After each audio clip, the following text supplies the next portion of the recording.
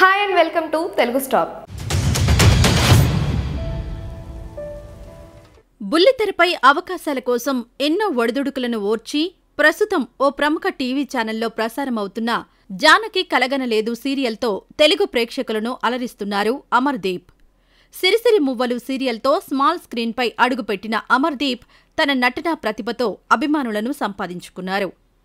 అవకాశాలు అందరికీ వస్తాయి.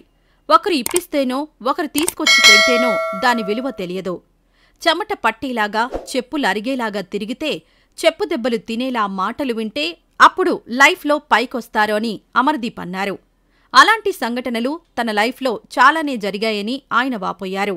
ఒకానొక సందర్భంలో జబర్దస్త్ చూడ్డానికి వెళ్ళినప్పుడు కూడా తనను ఎన్ని వల్గర్ మాటలు అన్నారో మాట్లాడారో తనకు తెలుసని ఆయన చెప్పుకొచ్చారు.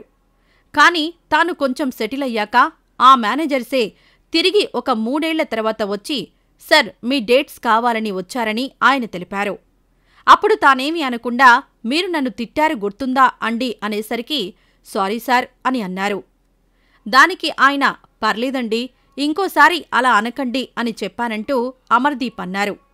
అంతేకాకుండా వాళ్ళు ఫోన్ చేసి సార్ అన్నప్పుడు మీ డేట్స్ కావాలని అన్నప్పుడే సగం చచ్చిపోయారని ఇంకా అంతకంటే హ్యాపీ ఫీలింగ్ ఏముంటుందని ఆయన ఆనందం వ్యక్తం చేశారు. ఇదిలా ఉండగా శైలజారెడ్డి లాంటి పెద్ద సినిమాల్లో చేశానని కానీ తీరా సినిమా చూస్తే అసలు ఆ సీన్లు లేవని అమర్దీప్ తెలిపారు. కొందరు ఆడిషన్కి వెళ్ళి రిజెక్ట్ అవుతారు కానీ తాను షూటింగ్ చేసి కూడా రిజెక్ట్ అయ్యానని ఆయన తెలిపారు.